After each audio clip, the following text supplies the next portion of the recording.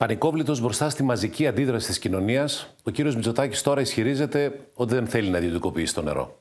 Η πραγματικότητα όμως τον διαψεύδει. Είναι ψέμα ότι το Συμβούλιο Επικρατείας σταμάτησε την προσπάθεια του κυρίου Καραμαλή να παραχωρήσει το εξωτερικό υδροδοτικό σύστημα της Αττικής σε ιδιώτες.